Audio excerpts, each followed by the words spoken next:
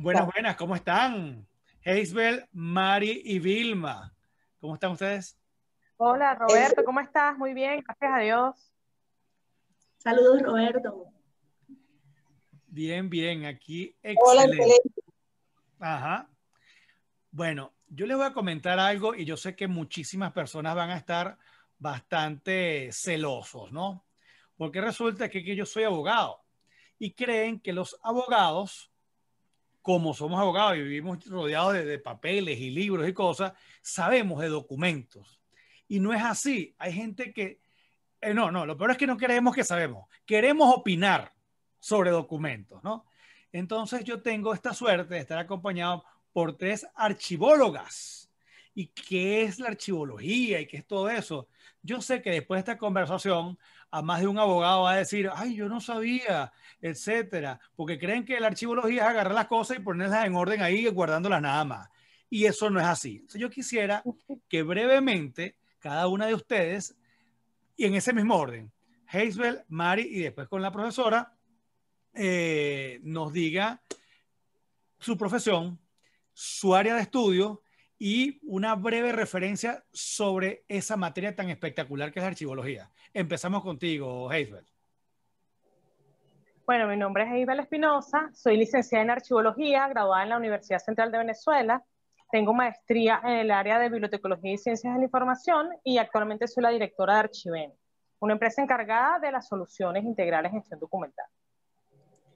¿Qué es la archivología? Bueno, la archivología es mi pasión es por lo que, bueno, estudié y he estado desarrollándome en el transcurso de aproximadamente 15 años. La archivología es la disciplina que estudia los documentos y los archivos y tiene una metodología y un procedimiento para poder ordenarlos, organizarlos y conservarlos. Actualmente la archivología ha evolucionado como ha evolucionado mucha ciencia con el tema de las tecnologías y estamos tratando eh, valorando y mm, estudiando el documento electrónico. Excelente, excelente. Y qué bueno que terminaste con esa idea, esa idea del documento electrónico, porque eso lo vamos a tener que abordar obligatoriamente. Vamos con Mari.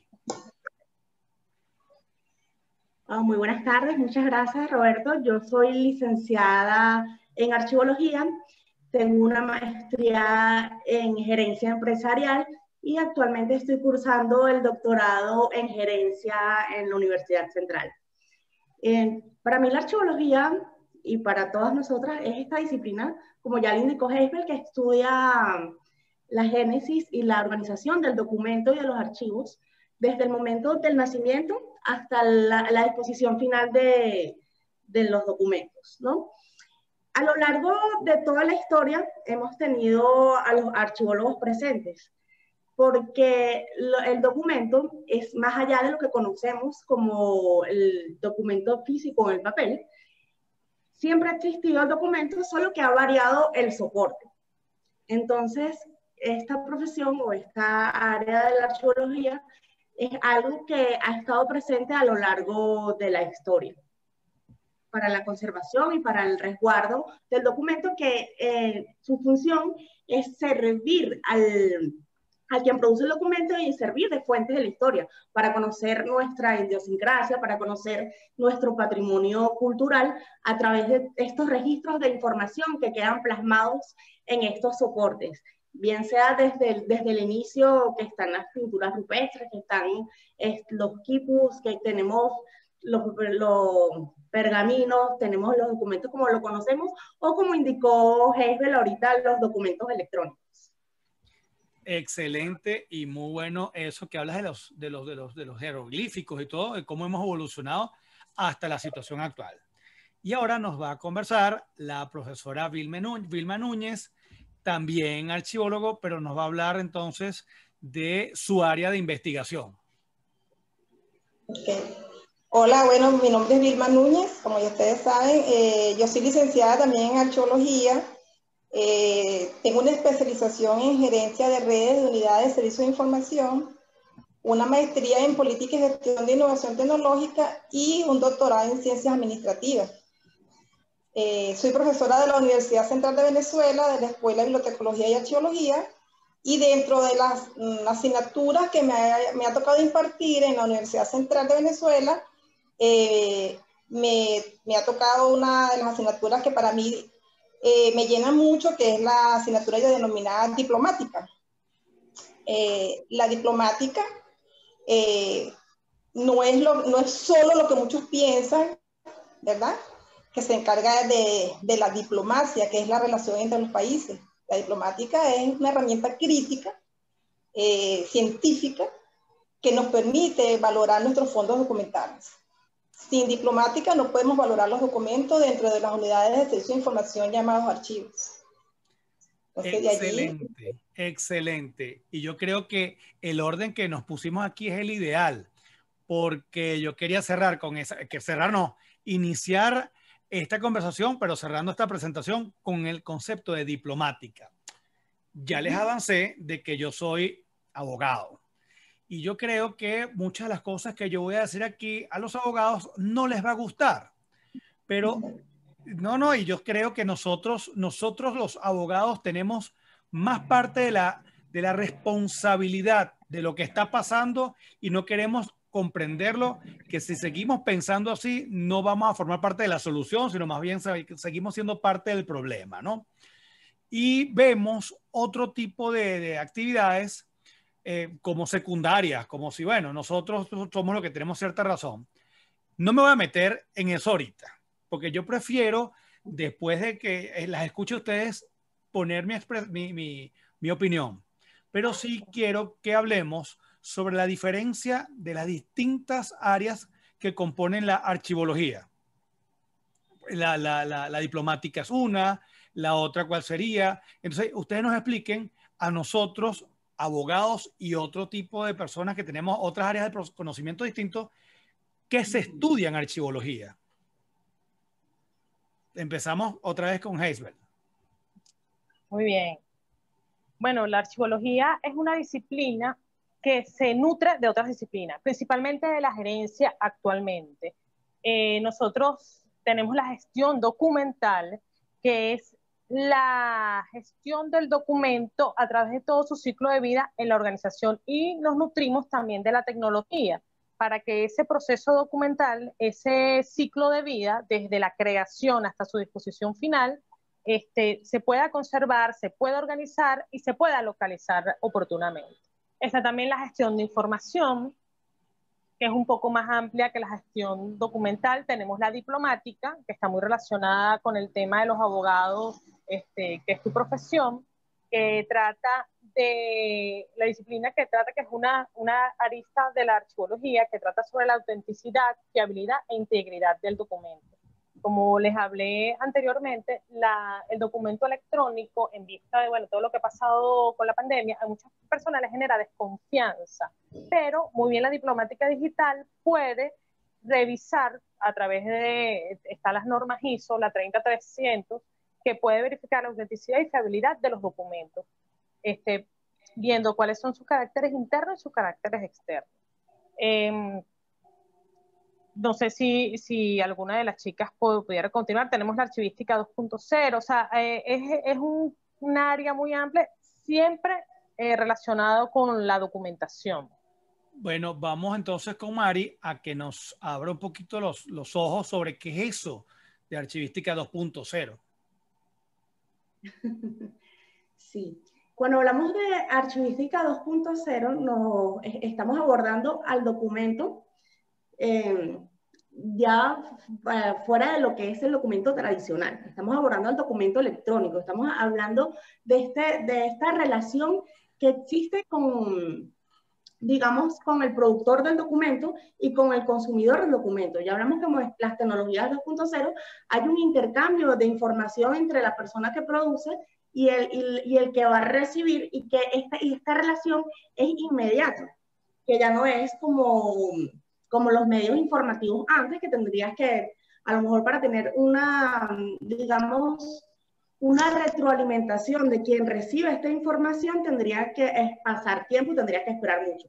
En este momento no, este, esta retroalimentación del, del productor y el, el, receptor de esta información es inmediata. esta, estas técnicas archivísticas 2.0 van a, a garantizar esta trazabilidad del documento, del documento electrónico, desde el, desde el momento de su nacimiento hasta el momento de disposición final, bien sea que sea la destrucción del documento o, o la conservación permanente para la historia. Y Vilma, me gustaría que pudiéramos hablar un poco sobre la aproximación de la diplomática digital en estos nuevos tiempos de, de, pandemia. Es más, esto que estamos haciendo ahorita, que estamos experimentando nosotros, es un ejemplo ideal. Esto que queda grabado es un archivo, es un archivo con unas, unas características propias que queda guardado. Es más, ya la escritura es escritura en código, ya no es la escritura en lenguaje tradicional. Háblanos un poquito sobre eso. Ok, lo que pasa es que precisamente eh, allí, allí la diplomática está presente también, porque cuando usted decía al principio qué hacíamos nosotros en archivología, por ejemplo, la archivología eh, nos permite abordar los documentos desde su génesis, desde su razón de ser, desde su producción. Y si vamos a hablar de esa diplomática que va, que va a encargarse de estudiar ese documento que se, se produce de manera digital o de manera electrónica, tenemos que ver qué rol juega la diplomática allí. Y para saber qué rol juega la diplomática allí, no tenemos que pasear desde el origen de lo que es la diplomática porque es que la diplomática ha estado presente inclusive desde el año 1681, por ejemplo, ya teníamos un, el monje Jean Movillon, que él produjo, él produjo un manual científico para valorar los documentos que él, estaba encargado de resguardar. Porque hubo una cantidad de personas que dijeron que esa documentación que estaba resguardada en, bajo su custodia eran documentos falsos y él tuvo que demostrar científicamente que esos documentos no eran falsos, que eran auténticos y, dar el valor a esa documentación. Ese, ese, ese método que usó Movillón, eh, que quedó bajo el nombre de red diplomática, hoy en día, hoy en día está vigente. Y cualquier documento que nosotros llevemos de manera electrónica o de manera digital, tenemos que someterlo a un proceso de análisis, de un análisis crítico, un análisis desde la complejidad, que nos permita a nosotros decir que esa documentación que estamos produciendo es una documentación auténtica, legal, era auténtica administrativa, que no son documentos falsos, que son documentos que están blindados, que están robustecidos, ¿verdad? y que dan fe de una acción administrativa o una acción legal, una acción de algo que sucedió en la sociedad. En la medida que los documentos que se producen desde bajo plataforma digital, esta plataforma digital 2.0 que, que hablaba de hace rato, eh, en la medida que nosotros garantizamos que esa documentación es fiable, entonces podemos seguir produciendo documentos electrónicos porque deben, esos documentos responder a toda esa documentación que se produce en, soportes físicos. Entonces, allí eh, entra en juego la diplomática y ahí nosotros como archivólogos nos corresponde, porque nosotros tenemos dos formas de trabajar allí. Tenemos una cantidad de documentos físicos que digitalizamos y lo llevamos a un soporte electrónico. Es una forma de tener documentos electrónicos. Y tenemos los otros documentos que producimos desde su inicio en formato electrónico. Entonces tenemos dos tipos de documentación dentro de nuestros archivos, aparte de la documentación física que resguardamos en su soporte físico actual, que nosotros tenemos que proteger, estudiar, analizar, porque cuando nosotros vamos a valorar los documentos, resulta que eso no es un trabajo nada más que del archivólogo, es una responsabilidad compartida. Y ahí entran juego los, los abogados. Para nosotros valorar un fondo documental, tenemos que contar con historiadores para que nos ayuden a detectar con los documentos históricos. Tenemos que contar con, con, con, abogados para que nos digan si ese documento tiene valor legal, con administradores para el valor administrativo. Tenemos que trabajar multidisciplinariamente para lograr entonces decir, mire, este documento tiene este valor. Pero además de decir el valor del documento, tenemos que decir su, su tradición documental, si es un original, si es una copia, si es una fotocopia certificada, si es un traslado, que usamos mucho de los archivos a través de los abogados. El traslado para nosotros es trasladar una información que está en un, libro original a un soporte donde va a decir que ese, ese documento tiene entonces sello, tiene eh, firma, tiene caracteres externos e internos que nos permiten verificar si el documento es, es re, realmente científicamente verdadero. Y allí ese trabajo no lo podemos hacer solo los archivólogos. Necesitamos hacer un estudio interdisciplinario para poder certificar este tipo de información que está allí y el soporte. Mira, con esta exposición que acabo de escuchar de ustedes tres, yo voy a calentar el, el, el, el, ambiente. Voy a calentar el ambiente por lo siguiente. Resulta que he tenido la oportunidad de participar en algunas actividades sobre el documento electrónico, la firma electrónica, el expediente digital y un pocotón de cosas y a mí lo que me preocupa es que muchos de los que opinan son abogados, son jueces, son un poquitón de cosas así. Y a mí, más que preocuparme, me alarma el hecho de que los abogados o los que estudiamos derecho incurrimos en un grave pecado. Es un pecado gravísimo, que es el de la soberbia. ¿Qué sabemos los abogados de los documentos? Absolutamente nada. ¿Qué sabemos los abogados de, de, de, de, la lengua? Eso lo estudian los lingüistas. Absolutamente nada. Entonces resulta que queremos opinar de procedimientos digitales y por encima del procedimiento oral y el escrito y lo que somos es un pocotón de, de personas brutas que lo que queremos es imponer las cosas por la autoridad porque lo dice la ley, porque el código tal dice que es un documento público y el documento tal dice que es un documento privado. Y dígame en esos estados con poca vocación democrática, no, porque la sentencia de la sala constitucional dijo, y eso es un pocotón de estupideces. Eso es un pocotón de estupideces que lo que hacen es reforzar nuestro criterio de, de, de, de autoridad para imponérselo a los demás. Cuando la realidad es que el documento, como instrumento que es, sirve de instrumento de la voluntad, del hecho histórico, de lo que quieres poner tú allí. Entonces tiene que venir un soporte y un contenido.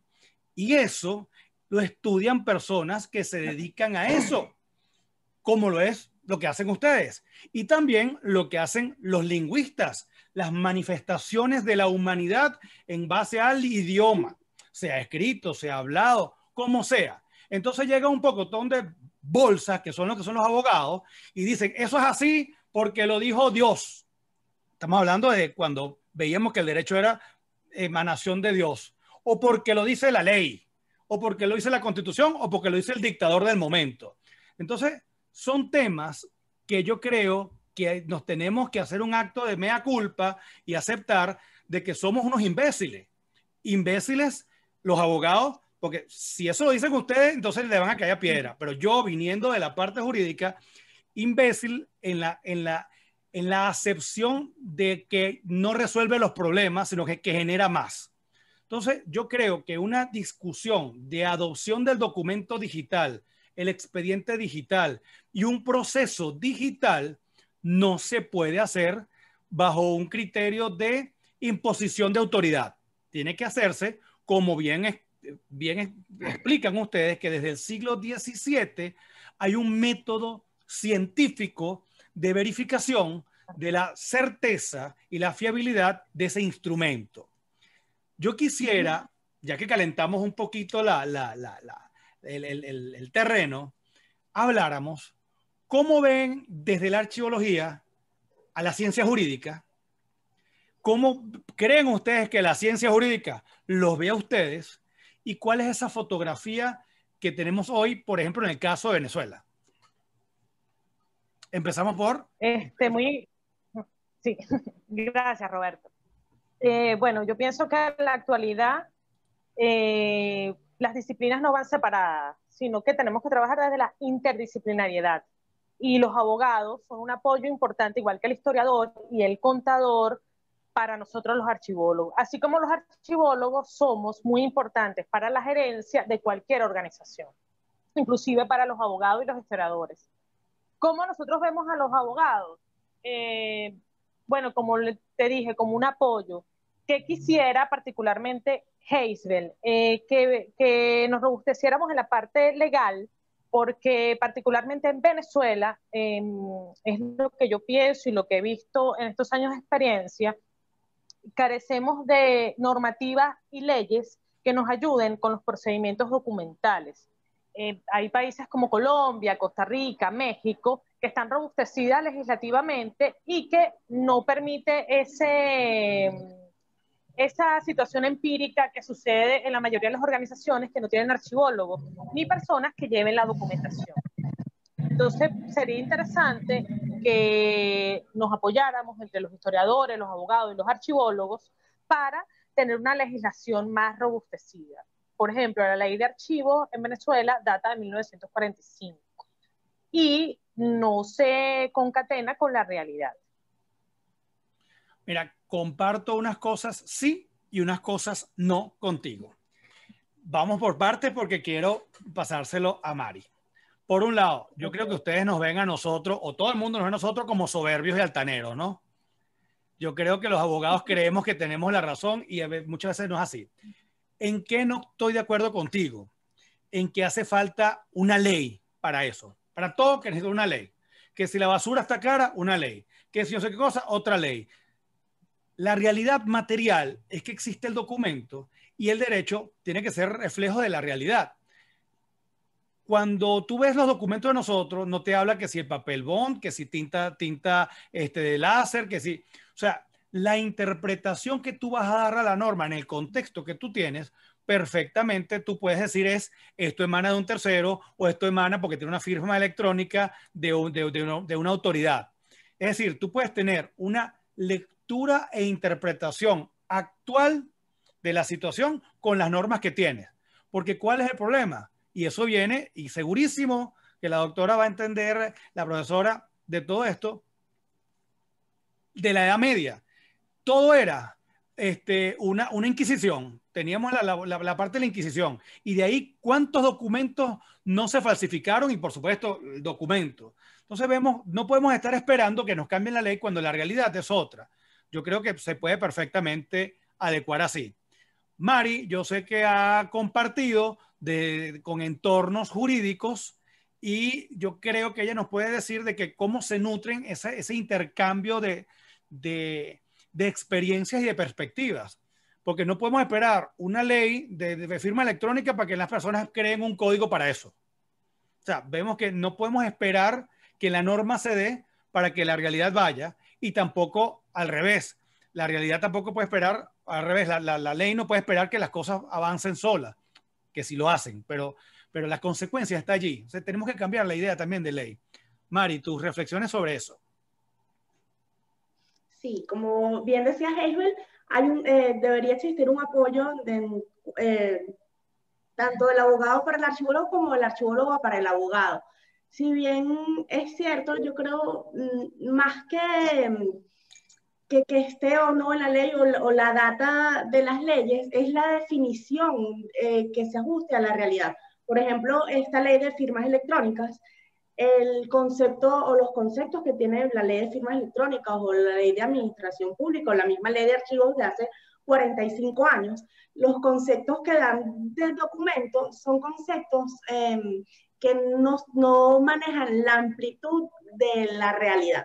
Ahora, este, si, si partimos de allí, que tenemos unos conceptos que son tan parcializados, tan, tan sesgados, no podemos quizás abordar la amplitud del, del documento, sí, del documento, es decir, de la realidad en la que se presenta el documento.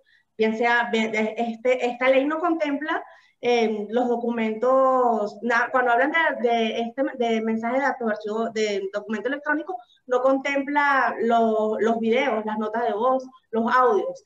Y esto también son instrumentos que reflejan la realidad, que son registros de las actuaciones administrativas, de las actuaciones personales, y por supuesto van a ser, em, van a formar parte de la historia o del patrimonio. Entonces, esta, esto, si estás comentando que no deberíamos esperar la, la ley para poder atacar esta, estas situaciones, que en el caso de los archivólogos no estamos esperando por ello, porque estuviésemos esperando 75 años. Ahí buscamos a lo mejor normativas internacionales, buscamos cómo es la realidad archivística en otros países para poder adaptarnos y, adaptarla a la realidad venezolana. No nos estamos nada más apoyando en esta, en esta ley desde hace tantos años. Pero sí deberíamos quizás hacer una multiplicación de lo que es el concepto y lo que abarca la documentación, que va más allá. ¿Por qué lo digo? Porque esta, este tipo de información, las fotografías, eh, las notas de voz, estos audios, estos videos, son, la, eh, son parte del patrimonio. Y si no, o no le damos el adecuado tratamiento documental, o no, no solamente en cuanto a la clasificación o la ordenación de los mismos, sino a la conservación de los mismos, vamos a tener de aquí a unos 50 o unos 100 años, vamos a tener un vacío en la historia si no atacamos esto. Vamos a tener un vacío documental de esa parte de la historia porque no damos un adecuado tratamiento a, a, esta, digamos, a esta documentación o a este registro de información que se presenta en estos nuevos soportes. Mira, son temas maravillosos e incluso date cuenta que cuando hablamos de las fotografías, video, pero es que hasta hoy en día el, el, el, el papel, no hablemos del papel, el documento escrito se convierte también en, archivo digital. O sea, llega un momento que el, contenido es un lenguaje que es código, que después se traduce a, lenguaje hablado, escrito, audiovisual, visual, etcétera, o data, simple data. Me gustaría, Vilma, que nos hablaras un poco sobre, digamos, esa diferencia o esa visión global, porque hablaba de Mari de otros países. ¿Qué experiencia nos puedes tú narrar de cómo se está llevando esto comparativamente en otras latitudes? Ok, eh, primero, bueno, antes de llegar a esa, esa, experiencia o lo que uno conozca, pues, sobre cómo se va llevando esto a nivel de otros países y países de la región inclusive, yo difiero un poco la, de mis colegas en cuanto a lo que son las leyes en Venezuela y, y lo que es la parte de archivo y la parte documental, porque cuando uno revisa, por ejemplo, tesis eh, de grado de investigación de los eh, trabajos de grado de los estudiantes, allí queda plasmado la cantidad de soporte legal que existe sobre el área archivística en Venezuela, por ejemplo. Ah, que esa cantidad de, esa cantidad de basamento legal esté disperso, eso es otra cosa. Eso es otra cosa. en Venezuela hay suficiente basamento legal para resguardar la información que se produce a nivel tecnológico, a nivel de soporte tradicional como el papel, a nivel de audio. Y es más, si nuestra profesión es, es, sencillamente resguardar y difundir la información, nosotros no, necesitamos ninguna ley especial para ver cómo la vamos a resguardar. Nosotros tenemos que meternos allí y buscar las maneras de garantizar que ese tipo de información que se está produciendo llegue a ese usuario final, que puede ser un individuo de manera eh, personal o la sociedad como tal, que es cuando se convierte en documentos históricos y, y documentos mm, este, culturales. ¿okay? Ahora bien, hay algo bien importante de qué se está haciendo al respecto. Y se está haciendo mucho. Y no desde ahorita, se está haciendo en año 1998 con el proyecto Interpares. El proyecto Interpares es un proyecto donde está al frente la, la profesora Luciani Duranti, ¿verdad? Que ha estado en fases. Primero fue una fase de buscar este, qué podíamos hacer con toda la documentación que se estaba produciendo a través de soportes electrónicos. Luego fueron viendo que, cómo se iba a aplicar el proyecto. Ya Interpares ni siquiera es, es un proyecto. Hoy en día Interpares es una institución que da lineamientos a través de métodos científicos de garantizar que toda la documentación que se está produciendo en soporte electrónico, primero que se garantice que no se va a perder, porque ese es el otro miedo que nos, nos dan los archivólogos. Segundo, que lo que se está produciendo tenga, sea reflejo de lo que lleva un documento en físico para poder verificar y decir si ese documento es auténtico. Por supuesto que para eso hay metodologías y hay formatos. Yo le agregaría, siempre lo vengo diciendo se lo digo a mis estudiantes, yo le agregaría eh, una parte que yo creo que se ha descuidado un poquito en cuanto a lo que es la producción de los documentos electrónicos, que si es verdad que todo documento electrónico debe ser eh, semejanza a un documento físico, entonces deberíamos de tener el sello electrónico también. Porque eso sí un problema tenemos en Venezuela. En Venezuela, cualquier institución tiene un sello y lo manda a hacer, pero no existe un registro de sellos. A pesar de que tenemos una ley de sellos, a pesar de que tenemos una ley de archivo, porque si bien es cierto, nuestra ley de archivo es de los 40, la tenemos. Hay países que no tienen ley de archivo. Yo me acuerdo una visita que nos hizo la, profesora Antonia Heredia a Venezuela, que venía de España, que, que es una eminencia en nuestra área por toda la producción intelectual que ha dado, y ella me decía, nosotros no tenemos ley de archivo, ustedes la tienen, y eso hay que valorarlo que sea antiquísima, que a lo mejor no está adaptada a la realidad, eso es cierto, pero la tenemos. La ley de sello, por ejemplo, cuando te dice que cualquier documento que tiene que tener un sello institucional, es muy importante para nosotros. ¿Qué pasa? Porque yo digo que tenemos que tener un registro de sello, porque ese documento que se está produciendo digital no basta con tener un código de barra. Ahí también debería llevar el sello de la institución de manera electrónica. Y aquí sí se debería de trabajar en función de tener ese registro de sello, porque aquí cualquiera te hace un sello. Tú montas un abasto en la esquina y tú mandas a hacer tu sello personal. Y si el, el abasto resulta que el señor tiene un camioncito, si le quiere poner camioncito de adorno al sello, se lo pone. Y eso no es, eso tiene que tener, eso no es una carta de amor.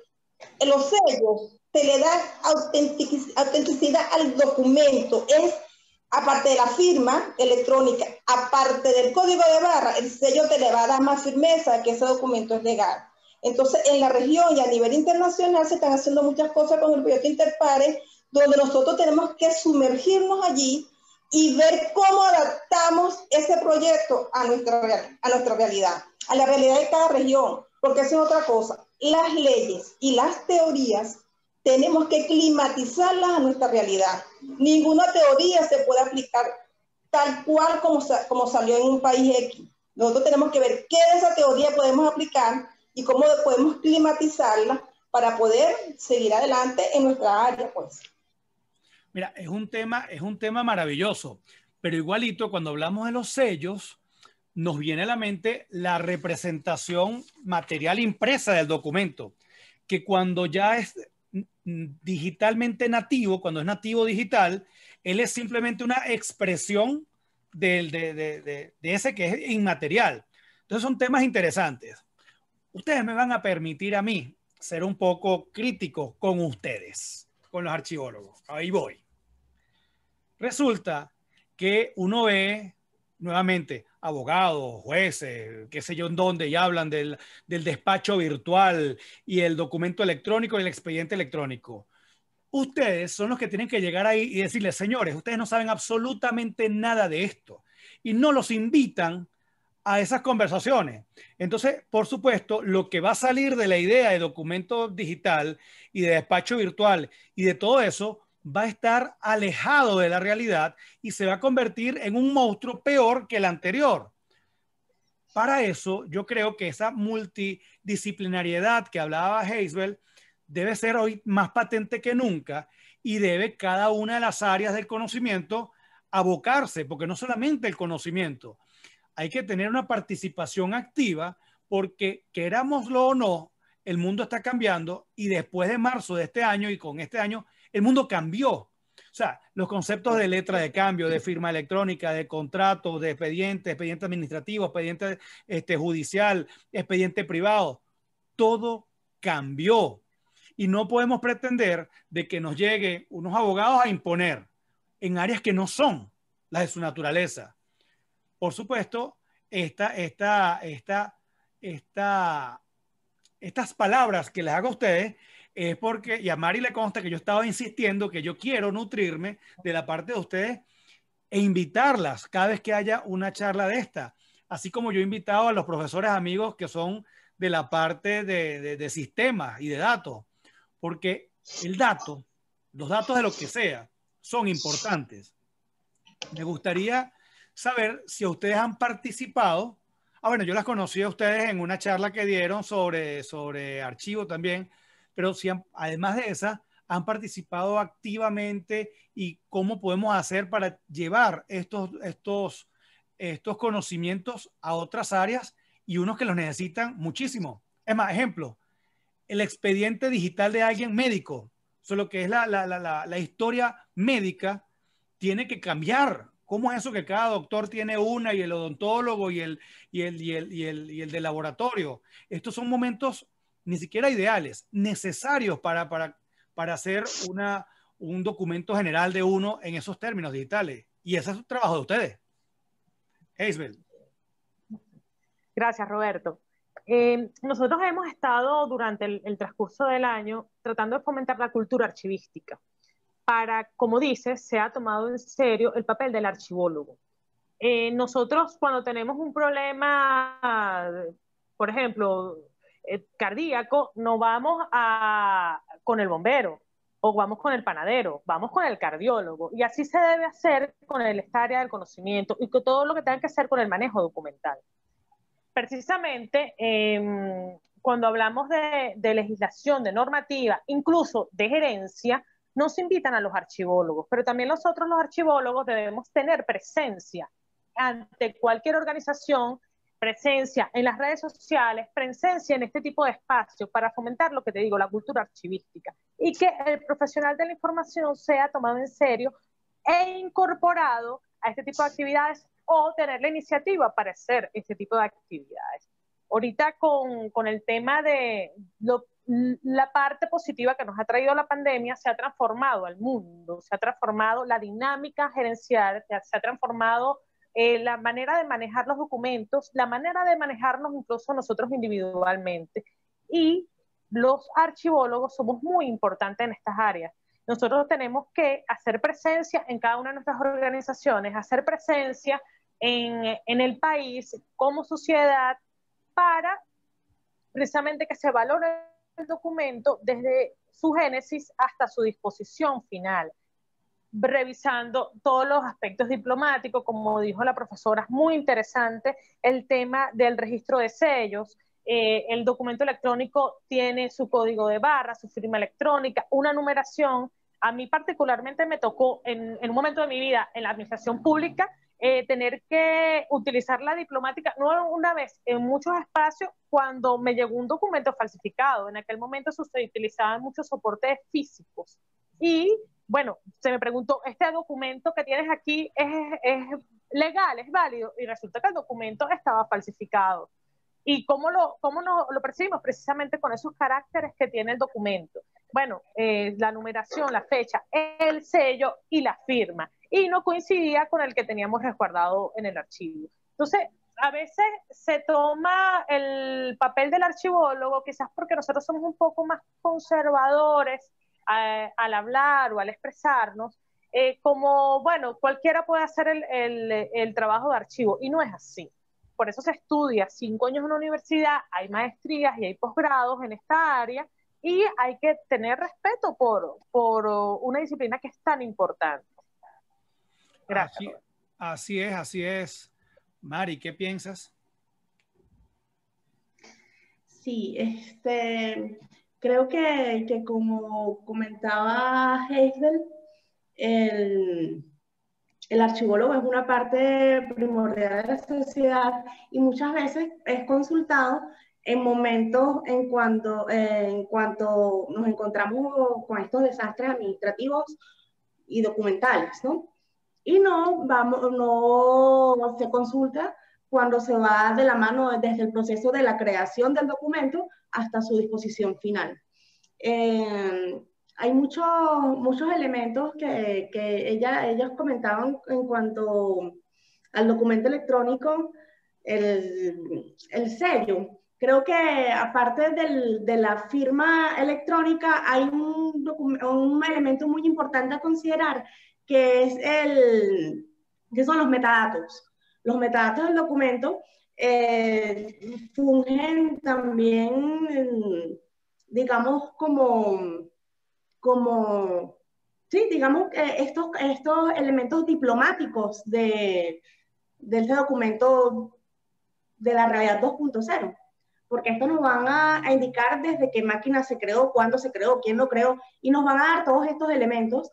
También nos va a mostrar si el documento fue alterado o no. Entonces, hay una parte de, de, la confiabilidad que se podría quizá, digamos que, ubicar dentro de estos metadatos, ¿no?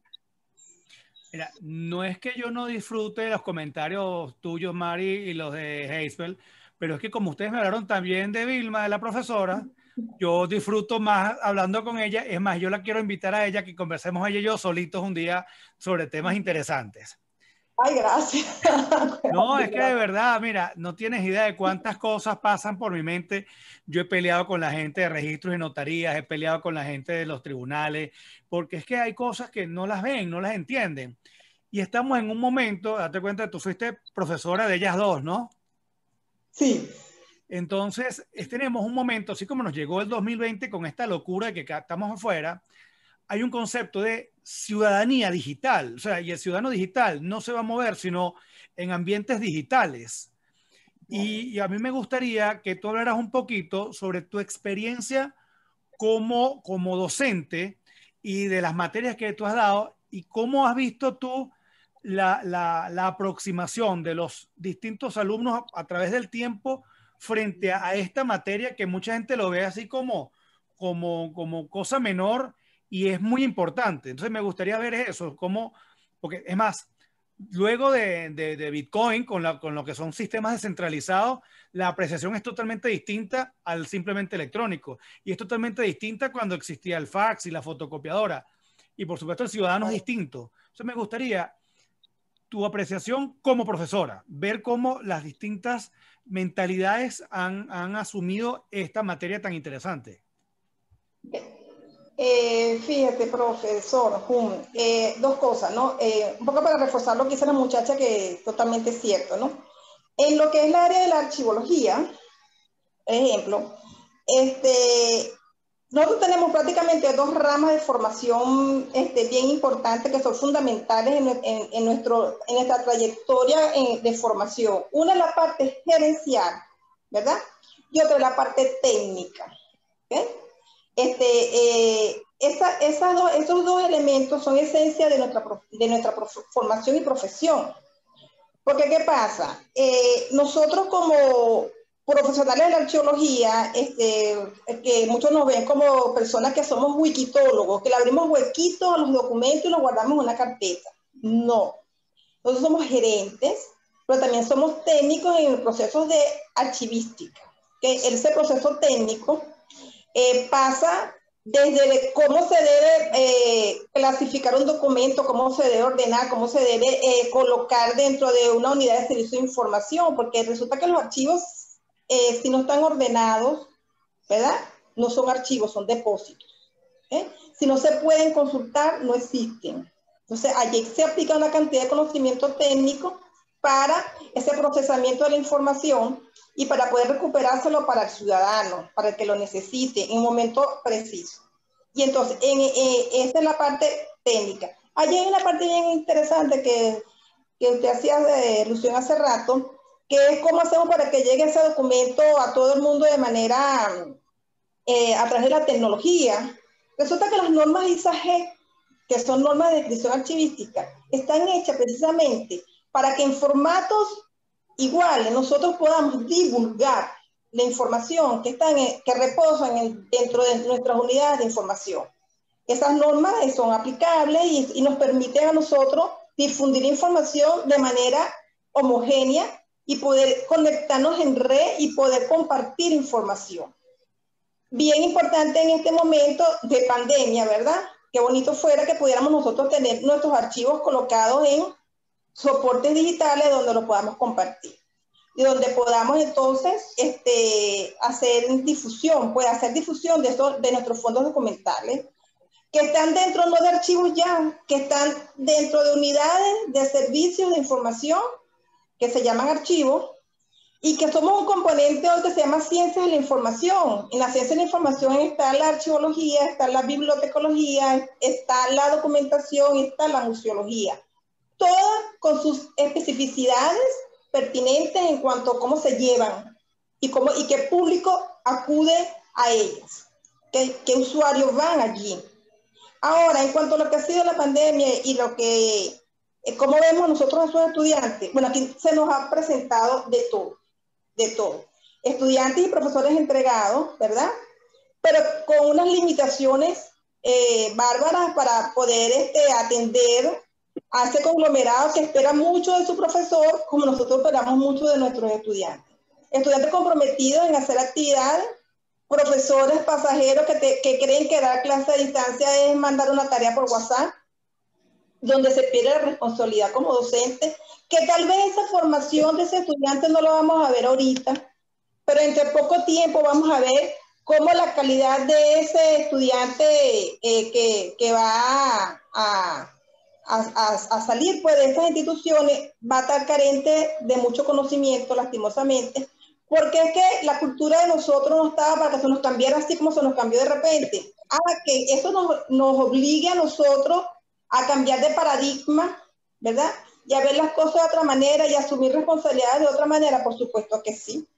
Nosotros como profesionales del área de la archeología, en los estudiantes, este, uno siente preocupación eh, en ver cómo muchos este, lo tomaron a la, ligera y cómo otros lo tomaron con seriedad, al igual que los profesores. Hablando de los profesores y de los estudiantes, aquí una responsabilidad, y como dije al principio, es una responsabilidad compartida.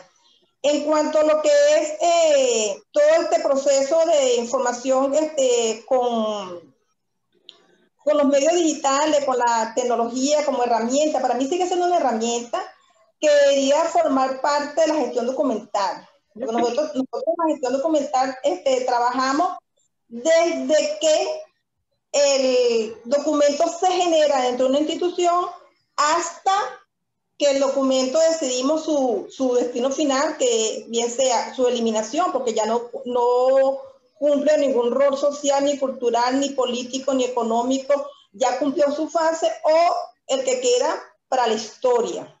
¿okay? Eh, entonces, eh, esto nos ha hecho cambiar muchas cosas y es bueno, es bueno porque los, los, cambios de paradigma se van dando así. O sea, ya nosotros no podemos ver la archivología como aquella función de que nosotros resguardamos documentos y que nos siga viendo así, bueno, que nos siga viendo así, nosotros seguimos adelante. Lo que sí es cierto es que el archivólogo estaba presente en la producción de todos los soportes documentales. El archivólogo ha estado allí, hemos manejado desde pergamino hasta el documento electrónico hoy. Creo que debemos de arroparnos y acompañarnos con todas estas herramientas que están saliendo, como lo que es Interpare, que ya, como les dije hace rato, ya no es un proyecto, sino una institución donde participa una gran cantidad de países de, todo el mundo. Eh, creo que no podemos dejar por un lado, de lado lo que es la, la norma ISAG, que nos permite compartir información a través de, de las redes creo que no podemos dejar de lado todo lo que es la gestión documental, nuestro rol, nuestra función como, eh, proces eh, como los que procesamos esa información y como le, damos satisfacción a esos usuarios, ¿verdad? A esos usuarios potenciales que acuden a, nuestras unidades de servicio de información. Pienso que, que la archeología sin la gerencia no es archeología. Nosotros no somos eh, guardadores de cosas, nosotros somos profesionales que necesitamos del abogado, necesitamos de, del contador, necesitamos del administrador, necesitamos del historiador, necesitamos nutrirnos. Ya las, esas, las tareas dentro de las instituciones tienen que verse de manera interdisciplinaria. Entonces, allí, allí, allí la importancia de que, de que nos brinden estos espacios, estoy agradecida por estos espacios que nos permiten a nosotros divulgar nuestra profesión, decir lo que hacemos, hacia dónde vamos y lo que estamos haciendo y, y lo que queremos. Necesitamos seguir investigando, Necesitamos seguir produciendo este, material eh, teórico y metodológico que nos conlleven a llevar nuestras unidades de servicio de información de mejor manera para satisfacer las necesidades informacionales de nuestros usuarios. Sepan ustedes que las tendré presentes cada vez que venga una discusión sobre expediente digital, firma, documento digital, etcétera, porque deben aportar sus conocimientos y tan profundos estudios que han hecho. O sea, esto no es que llegue alguien y diga, ahora vamos a mandar el documento por WhatsApp y ahora lo vamos a imprimir. No, no es eso. O sea, no es eso porque vamos a estar en una situación de un expediente electrónico y digital que no es sino otra cosa loca. Hazel y Mari, ustedes llevan adelante una, una empresa, una, una, una actividad muy relacionada con la carrera. Cuéntanos un poquito de eso y cuál sería el, el perfil de sus clientes y qué pueden ustedes ofrecerle. Gracias, Roberto. El principal perfil de nuestros clientes son los abogados, que manejan, como tú dices, gran volumen documental. Eh, bueno, nosotros aportamos soluciones en gestión documental, organización, ordenación y clasificación y por supuesto la descripción que como dijo el profesor es tan importante con las normas ISAT-E. También aportamos un poco, un poco de normas ISO y evaluamos cuáles son las necesidades de nuestros clientes, porque como eh, mencionaste anteriormente, un médico maneja información, pero tiene una necesidad particular. El abogado también maneja información y tiene una, una necesidad particular y las organizaciones tienen necesidades particulares. Entonces, nosotros lo que hacemos es evaluar cuáles son sus necesidades y aportar una solución a nivel de documentación. Mari. Y esta, estas soluciones no son nada más eh, la organización in situ, sino que nosotras eh, también aportamos la capacitación y las asesorías en el área porque si bien es sabido, el personal o el profesional en el área de archivología en el país es reducido y hay mucha, mucho manejo documental, todas las instituciones y todas las personas en su día a día manejan documentos. Entonces, nosotros brindamos quizá ese conocimiento eh, básico para las personas que manejan estos documentos. Excelente. Y profesora Vilma, háblenos un poquito de qué recomendaciones nos da, ya acercándonos a la finalización de estas reflexiones, a todos los profesionales en cuanto a cuáles son los, los conocimientos esenciales que deberíamos tener sobre esta materia. ¿Usted cree que pudiéramos hacer un programita de algunas cuantas horas a aquellas personas no archivólogos que deberíamos tener algunos, unas nociones básicas? Pues claro que sí, claro que sí. Este, podríamos hacer mucho. Es que es tan importante que la gente conozca sobre lo trascendental que es la información que está plasmada en un documento. Imagínense un solo ejemplo. Eh, vámonos a un, vámonos a un archivo eclesiástico de un poblado, por ejemplo. Eh, la documentación que está allí eh, anteriormente, cuando este, no, no existían jefaturas ni prefecturas, sino nada más que la iglesia como institución dentro de un poblado, era en la iglesia donde se presentaban los niños y era en la iglesia donde se sacaban las partidas de función, por ejemplo. Esa información que está allí, para cualquier persona que quiera hacer un estudio, allí la persona podría enterarse. Es tan importante que la gente le valore lo que son los documentos. La gente podría enterarse de qué morían las personas en la comunidad eh, revisando los documentos que están allí. Eh, ¿a, eh, qué edad moría, a, qué edad morían? ¿Okay? ¿Cuál era el nombre que se le colocaba a los niños este, en la época, por ejemplo? Este, así como ahorita está la época de los Matías, de los Brañes, también hubo la época de los José, de los María, de las Carnes. todo eso tiene una importancia cultural y, y se dio en un contexto social. Diplomáticamente, para nosotros, es muy, muy significativo el lugar donde se produce el documento. Porque el lugar donde se produce el documento te, te, permite culturalmente y socialmente saber bajo qué condiciones se hizo, bajo qué condiciones se produjo, dónde se produjo, qué tecnología tenía en ese sector, quién lo hacía, quién lo escribía, cuál era el perfil de la persona que lo escribía, ¿Por qué tenía un eslogan el documento? Porque de pronto el alcalde de la comunidad se le, se le ocurrió colocarle un eslogan. Eso forma parte de los caracteres externos del documento. Entonces, eh, la documentación eh, solamente es un ejemplo. O sea, la documentación te da fe de, tanto, de tantas cosas, es un testimonio que a través de la diplomática, vista desde la complejidad, no desde lo complicado, desde la complejidad, te permite ver todo un contexto y satisfacer necesidades informacionales, como se lo digo yo siempre a mis estudiantes. Porque cuando, sin, sin desvalorizar ninguna unidad de servicio de información, cuando uno va a la biblioteca y pide el actor X sobre el libro castellano y te dan el, el, ese autor te dice, no, yo no tengo el de, el de Carlos, yo tengo el de José y es de castellano, lo mejor ese, ese usuario satisface su necesidad igual con el de José o con el de Carlos. Pero cuando usted va a pedir la partida de nacimiento de su hijo, no le pueden dar la suya, porque el documento es único. Necesita es la suya. Entonces, usted necesita la de su hijo, no le pueden dar la suya, porque son dos documentos diferentes, bajo contexto diferente, con intención distinta. Entonces, la importancia de los documentos que reposan en los archivos no tiene nombre. Y la persona que va a un archivo es porque lo necesita. La gente no va a archivo a secatarse, ni va a los archivos a pasear.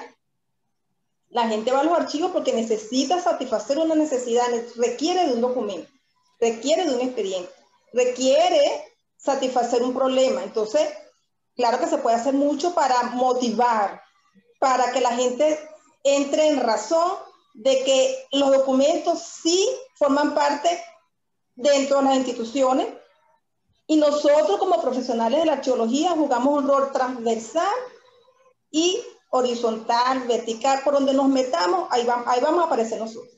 Siempre vamos a estar allí. Mira, quedo con más ganas de desarrollar más temas y yo sé que vendrán nuevas oportunidades. Eh, Hazel, Mari y Vilma, estoy sumamente contento de que se dio esta conversación. Me gustaría sus palabras finales y además está decirles que esta es su casa. Cuando quieran y tengan algún tema, cuenten con Cultura Jurídica y esta plataforma para divulgarla. Hazel. Gracias, Roberto. Gracias por la invitación. Como te dije, nosotros queremos promover la cultura archivística. Estoy muy feliz de haber compartido contigo, con Mariluna, con la profesora Vilma, que le tengo un cariño muy especial. Y bueno, sigamos conversando de archivos cada vez que sea necesario. Muchas gracias. Gracias, Roberto, por la invitación. Como dice Henry, la cultura archivística es importante y la importancia del resguardo de los documentos para el patrimonio de un país. Creo que es importante reconocer esto y que todas las organizaciones y todas las personas manejan documentos. Entonces, es la importancia de saber cómo eh, administrarlos, clasificarlos eh, y conservarlos permanentemente. Y Vilma, cierras tú maravillosamente con tus recomendaciones y reflexiones finales. Bueno, gracias por la oportunidad. Estoy feliz de haber compartido este espacio. Este, contentísima con Isabel y, y Mariluna, este, excelente. Este, me, me contenta mucho ver a mis chicas porque fueron mis alumnas y ver que están en este proyecto que ya están haciendo y ver cómo han avanzado, eso me da a mí una demostración de que si estamos formando gente preparada en, nuestra Escuela de Bibliotecología y Archivología de la Universidad Central de Venezuela, eso para mí es una satisfacción. Ellas fueron mis excelentes estudiantes, está de más decirlo. Eh, eh, pienso que, que este tipo de espacio para divulgar lo que se hace y lo que hacemos y lo que es la, nuestra carrera, no lo podemos desperdiciar, estoy muy agradecida este, ¿Qué más te puedo decir? Eh, eh, estoy a la orden para cualquier conversación que, que, quieras compartir sobre nuestra área o la área legal, que no soy abogado, pero nosotros tenemos que leer de todo un poquito y en lo que es la, esa producción documental que, que para nosotros tiene un significado legal, eh, ahí estamos nosotros también. Este, esos expedientes judiciales, su composición, eh, este, su foliación, eh, eh, esos documentos que están compuestos de, de, esa diversidad de tipología documental que forman parte de un expediente que da fe de un hecho, qué importante es cómo se lleva también. Este, que, porque todas las tipologías documentales dentro de las organizaciones este, tienen una razón de ser y una forma de organizarse, que eso es lo que, que, no es una, que nosotros nos organizamos de una forma única. Nosotros tenemos que adecuarnos a, a, la tipología documental que nos corresponda.